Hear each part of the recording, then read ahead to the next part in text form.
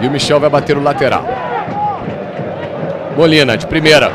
Bota para correr o menino Michael Leite. Luizão na marcação. Vem o Michael. Abriu, jogou para a perna direita. Belo drible. Vai entrar na área. Lance perigoso de esquerda. Fez o cruzamento. O Thiago não saiu. Olha o gol. Para fora!